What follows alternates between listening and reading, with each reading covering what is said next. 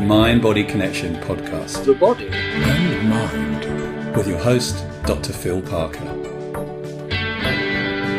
So, welcome. Um, real pleasure to have Rhys, Rhys Thomas on today, um, who I met recently, and I was really intrigued by his story, um, which I'm not going to spoil by giving you any highlights because I'd like him to kind of tell it to you.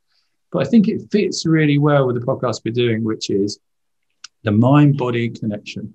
So we've talked a lot about on the podcast about the mind and the body um, and how they connect.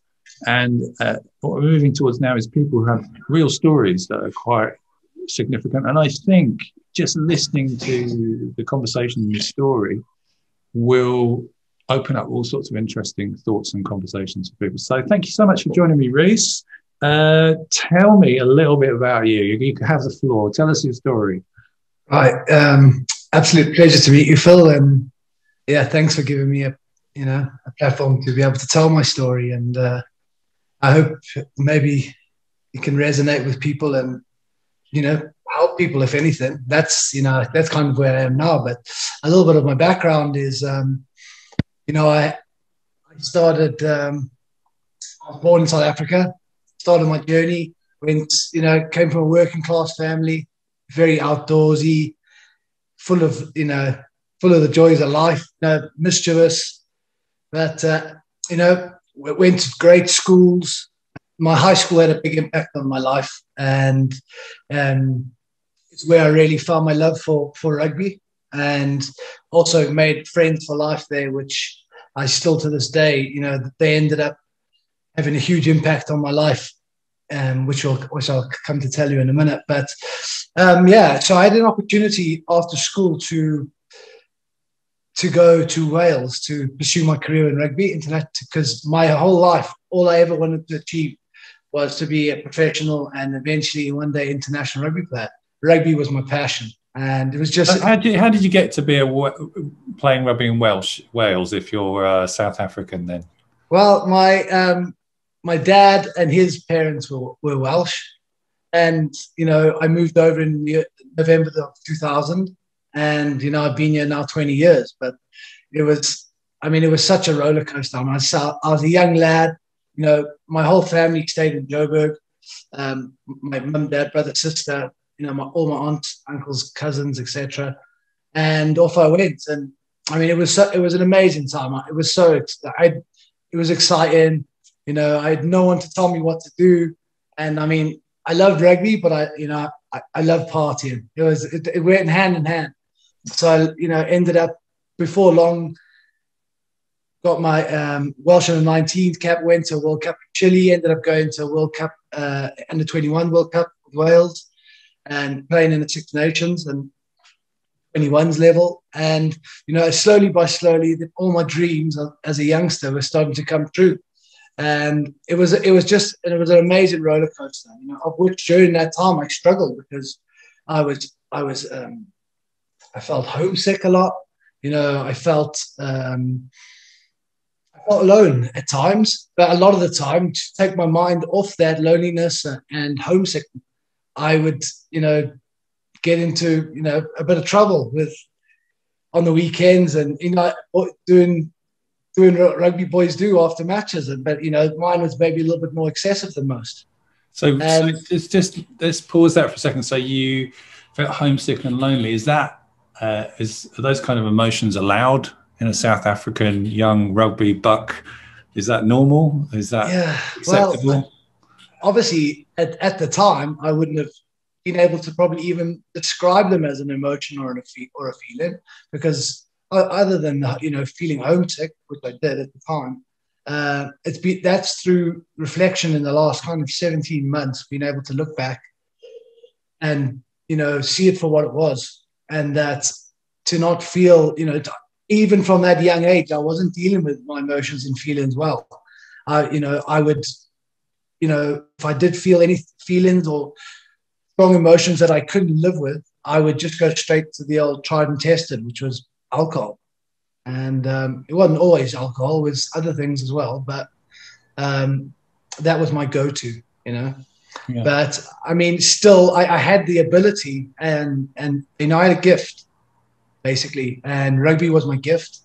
And I found out very early on, like I got to a bit of a situation where my off-field antics were having an impact even at that age. By the time I was 24, I was in on my first Welsh tour. Um, my contracts were, you know, I signed my first pro contract by the time I was 21, and you know, I got my first cap in against Argentina in Buenos Aires, and that was an amazing day for me. Obviously, my family were incredibly proud, and um, it was just like a roller coaster from there. If I'm honest, it was just, it was almost overwhelming at times because, like, all these dreams that I'd ever had were playing out right in front of me. And that, you know, I'd, I'd also started a family. Um, I'd met my wife. And there was just so much going on because there was distractions all around me as well. Because as you obviously you can imagine, as you come into the limelight, you, you get an international recognition. You're in the press. You're getting attention. Um, my ego was growing, um, and this brought its own set of problems. Uh, if I'm honest, because you know I I thought I, I started to believe in and form an image in myself that was false, and um, you know an arrogance, almost like a narcissism that started to come out. Not so much in my normal self because I've always been, you know, when sober, a completely lovely person most of the time, you know. But like obviously with alcohol in me, it was just I was the other way. And I was never an aggressive drunk, but incredibly boisterous and just mischievous, getting up trouble constantly, and trouble was never far away. You know, it was I was I was destructive, and um, that was even that followed through me through my career. And before long, you know, I I had did some amazing things. Obviously, we won the Grand Slam in 2008. I met, I had the privilege of, you know, meeting um, Prince Charles, Prince William. Um, I met, you know, the, probably the highlight of what my career allowed me to do is I met Nelson Mandela for one of my rugby matches. He was my like my hero, you know, and yeah, was, it opened so many doors, but there were doors that I, I couldn't shut. You know, things I couldn't say no to on the weekends that started to hinder my performance and not only my performance, put strain on my relationship, and it's slowly but surely that spiral um, of chaos out in my in my personal life started to come into my professional life. And you could see it with my performances. I was getting injuries. You know i was never the best professional like training wise but you know on a, normally on on game day i'd bring it you know? Um, but it was something that definitely started to catch up with me and slowly but surely that uh, my international career started uh, ended because of you know there was a lot of issues off the field going on. And um, it was unfortunate. You know i had gone from that's all i ever wanted. And i achieved as my childhood goal was to put an international jersey and welsh jersey on and walk out in, in front of the principality stadium and and be, a, be an international rugby player. And I achieved that. I achieved my goal. And it brought me incredible, you know, I was very proud of my achievements, you know, because I'd done it all, you know, I'd left at 18 years old from, you know, my home country and got myself to, to the top, like with very little help from anyone else. And um, that also became a later issue because when I started to have problems with addiction, etc., I didn't want anyone else's help because I just thought I'd done this all myself. I'll fix it myself. And that attitude, you know, that stubbornness, that that pride, that ego, actually drove me a lot further into a hole than I'd ever ever imagined. Unfortunately for me, and my lifestyle was out of control. And in 2012, I suffered a heart attack. Uh, how, how, old were you? I was 29 then. So. 29, and you were still physically pretty fit yeah, I was playing professionally for the Llanelli Scarlets. Um, I, you know, I just agreed a new co- a contract to move to a club in France. Um, on you know the most money I'd had ever in my career, and literally in uh, January of 2012, I was just training in the gym, and boom, massive heart attack. um, I knew it was a heart attack because in 2007, and I, would had a, a, smaller incident where I'd had a heart attack, but it was a clot in my artery. So, from they said from impacts and from training um, and maybe excessive caffeine, but they weren't sure. In 2012, then I had my heart attack, and I walked across the gym into the physio room, told the physio, "Pat, I'm having a heart attack." I lay on the floor. I didn't want the boys to see me. You know, even in that moment when I knew I was having a heart attack, it was that still that pride was to not be seen like no, don't show him weakness. So I went down the corridor and just sat on the floor. I waited for the ambulance to come, and I uh, ended up then going to the Morriston in Swansea. And before I knew it, they said I needed to have an emergency bypass, and which I did. And I woke up in and um, I'd had a quadruple bypass, and my career was over. You know, I was asking the doctors when will I be able to play, but I was, you know, still coming off the on morphine and stuff like that, and I was really sick. I was incredibly fortunate to survive the operation. They gave me less than a thirty percent chance of surviving once they opened my chest, and um, yeah, it was it was hard. The recovery from that first heart attack, my quadruple bypass, was incredibly challenging. It was not only physically challenging because I was very ill, because I'd had a huge loss of muscle in my heart. So uh, about 70% of my muscle had died off in the heart attack. So, um, and all on the, on the left side. To even walk 100 meters was, I was completely out of breath. I would change color. I'd be sick sometimes. Um, and all in the, in the space of about a week. So I'd gone from being a professional athlete, just agreed my biggest contract of my career, my international career had maybe finished, but I hadn't I hadn't given up on that. You know, I was hit the best. I was more or less at the best form of my life when I had my heart attack, and just like that, boom, taken away from me. And that physical battle, although I, you know, I did not want to die, so I tried my hardest to to stay healthy and and and to fight. But it became a very big mental battle you know, dealing with the loss of my career, the fact that I couldn't even walk up a flight of stairs without stopping three times. Um, it was really tough. I had panic attacks, anxiety, stuff that I never even knew about. Um, that was just there when I woke up. I couldn't sleep. Like I was like falling asleep and waking up, like not being able to drop off because of I was having panic attacks, and uh, that was really hard times. And I mean, um, as my health slightly improved from that heart attack, I then had um, I needed to have a heart transplant. I was informed, but I actually could not have one because I had pulmonary hypertension. So it was just this constant roller coaster of emotions. You know, it's like you need a heart transplant, and then I they'd run me through the the, the probabilities of survival, etc. Um, and just it was just every day it seemed that there was a different curveball being thrown at me um, but I just pushed through, you know. And then in, in 2014, I got offered a machine that they could put in me that could reduce the pulmonary hypertension. Because they gave me about 12 months to live in 2013. And I was like, right, that's not going to work. So I said, what's the options? And they said, well, you can either just you know, live it out or we can put this machine in. And, this, and I was like, okay, well, machine it is. You know, it's not even, let's, let's go. But there was obviously a lot of scar tissue under my chest from my from my first operation because it was an emergency.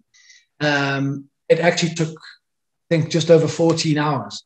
I did somehow survive that operation as well, but I didn't wake up two weeks post op. When I woke up post op, it was, you know, I was really, really sick. I was very skinny. Um, my legs, I'd kind of, you know, my muscle atrophy in my legs was really bad. So I had to like use like a like a thing like this to go to the toilet with, and it was really, I mean, it was tough. It was real tough. My recovery from then, it took me a month to get out of the hospital, believe it or not, from, from when I uh, woke up. Um, and that machine, although it comes with its issues, was completely life changing. Um, it's actually a, a, machine called a left ventricular assist device.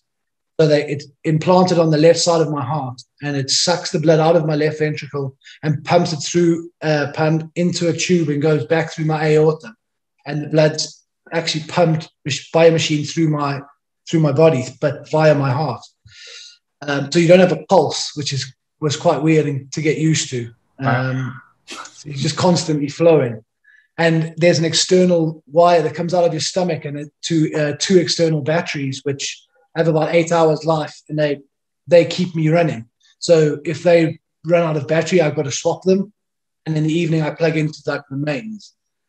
So it was a big life change. Mentally it was a battle a battle which i was really struggling with but on the exterior i know i was showing people you know smiling yeah i'm good things are great when in fact things were not great at all.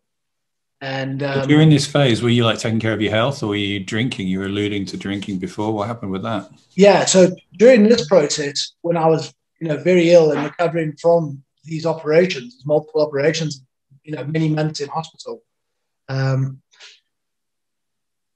it gave me a lot of time to, to live with these emotions without actually accessing um, through no other person to blame but myself, I didn't want anyone else's help. You know, like I said, that stubbornness, that, that pride, um, that ego, that no, I'm fine. Don't worry. That was my go-to word. And if anyone asked me, I was, no, I'm fine. And um, you know, fine is I, I've got a my sponsor says something about it, but I don't know if it's appropriate for this conversation. That so maybe I'll. Four letter word beginning with F. yeah.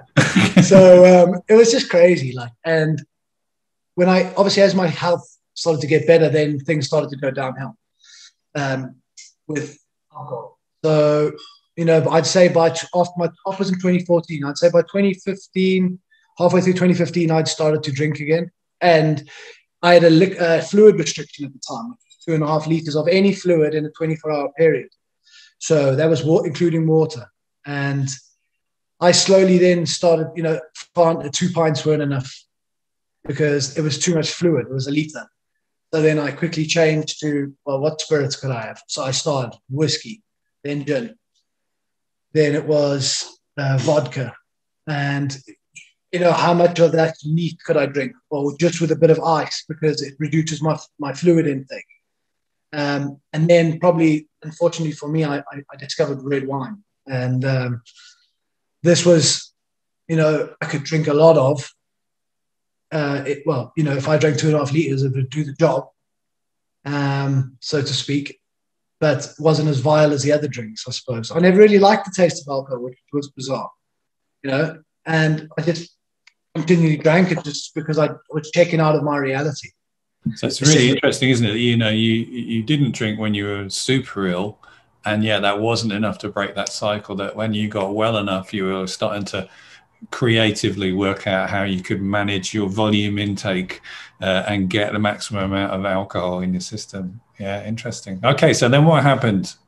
Yeah, so basically, then there was just an absolute downward spiral of those. It, you know, it became you know a liter of vodka on a Saturday became you know more closer to a liter and a half vodka, and God knows how many shots um, and then then it became a Friday and a Saturday, and then a Friday, Saturday, and a Sunday afternoon, and then sometimes a Thursday, Friday, Saturday, Sunday afternoon.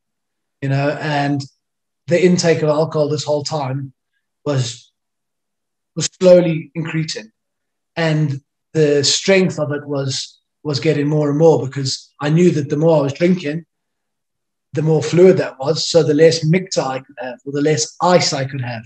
You know, these, this is the lengths that I was going through in my mind to, to fool myself into thinking that I wasn't doing any damage because I wasn't going over my my fluid intake. When in when in fact that wasn't doing the damage at all. I was basically pickling my heart, or what little of my heart was left. You know, and the unbelievable thing was the mental decline during that period was was intense. And I did not see it.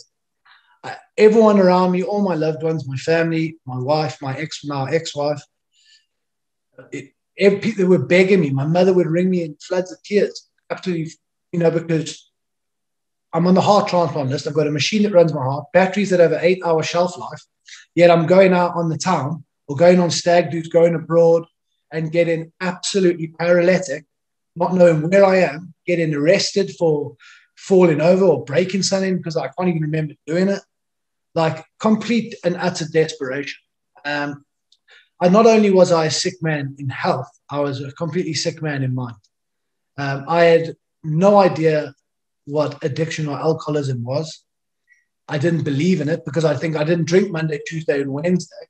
And I and I can take it or leave it for a week or two either side when I had really bad hangovers. So I was I, I fooled myself into believing how could I possibly be I'm not dependent on alcohol. Because I had in my head this picture of a you know a guy sat on a street corner with a brown paper bag. When in fact, you know, that that's not the case at all. And um, it was a hard time. It was really bad. And unfortunately, in the end, I, I pushed away everyone that was trying to help me. And I just surrounded myself with enablers, people that enabled me to drink, that didn't give me any, any chip for when I wanted to get howling or smoke cigarettes when I was drunk, things that were just absolutely absurd to do with a man that's on a heart transplant list, you know, and it's just really unfortunate. I mean, it was a it was a sad state of affairs. And I'm, I'm imagining your relationship started to fall apart at that point as well. Oh, I mean, it was it was dire. Um, you know, my my wife is was an and is you know my ex-wife now is she's an amazing person and she and she you know we're no longer together but i have zero resentment and only just respect for them how many times she tried to protect me and tried to help me, and how many times I just didn't want to know. And um, unfortunately, for me to realize, because of the amount of denial I was in, of how bad my problem was, I, I actually had to hit my rock bottom. Um, because I could not see the wood for the trees. It was literally stone wall, three kilometer deep denial. And um, unfortunately, well, I say fortunately, luckily no one was hurt. I crashed a drunk on the first of um, the first of September, uh, 2019, and it was a it was a complete shambles. Like I got home and it, you know nothing. luckily, with it, the, the damage was not great. I didn't. No one else was affected by the incident, um, nor myself. And but the damage at home was huge. You know, my children and my elder son, um, who's 20, Ethan. Um, unfortunately, you know, it was it was a it, the family was at breaking point, and especially, you know, my wife had had enough at that point, and it was it was a it was it was a disastrous day, a day that will stay ingrained in my mind forever. But it was enough to make me realize that there's a problem.